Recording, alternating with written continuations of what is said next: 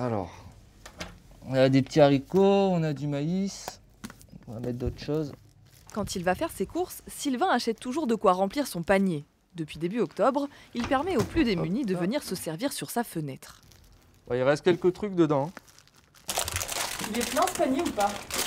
Euh, bah, On le remplit régulièrement, mais il se vide aussi vite qu'on le remplit. hein. Il y a beaucoup de gens qui, qui ont besoin de denrées alimentaires, donc euh, ils viennent, ils, ils se servent, et nous on remplit au fur et à mesure. Une vingtaine de paniers comme celui-ci sont déjà installés dans l'agglomération Tourangelle et répertoriés sur une carte en ligne.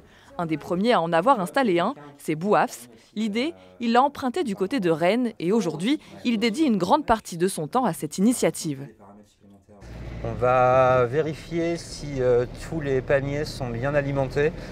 Comme j'ai réussi, moi, grâce au travail, à collecter pas mal de choses, que ce soit des vêtements par des collègues ou un peu de, bouffe, euh, je vais voir si euh, les intendants des paniers sont pas en difficulté à recharger. Puis du coup, on va déposer quelques aliments et quelques éléments.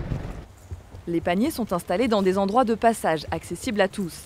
N'importe qui peut donc y déposer ce qu'il souhaite, aucune condition pour donner, comme pour prendre ce qu'il y a dedans, et les bénéficiaires sont différents en fonction des secteurs de la ville.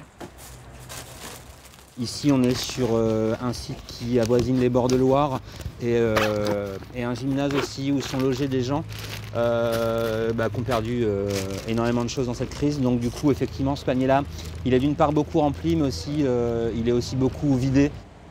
Grâce aux réseaux sociaux, ces paniers suspendus s'exportent plus loin en Touraine, jusqu'à Amboise, et même au-delà de la région. Le concept a déjà été repris du côté de Rouen.